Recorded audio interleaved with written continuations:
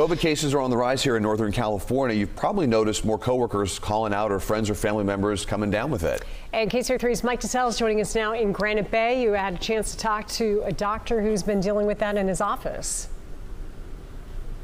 Yeah, we're live at the Granite Bay Urgent Care because this location, as well as its sister location, uh, the Lincoln Urgent Care, the numbers certainly speaking for themselves. Let me show you. Dr. Eric Ellis told me that in the last week of March at his uh, urgent care locations, they were seeing two COVID positive cases per week. Last week, that number was 77 cases per week. Now, the number 99 cases in a week. The doctor here predicting those numbers likely going to double before they start to go down. And there's, at this point, no clear cut trend of who will get sick obviously more people have been vaccinated now, which has definitely changed the course of it. I, I feel much better, uh, more confident now. When people come in, I, I can say, "Hey, you're going you're gonna be just fine," um, especially if you're young and healthy and um, and stuff.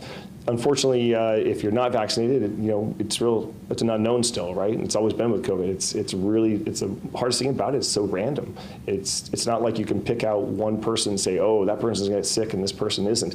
It really is random, um, and who really gets sick.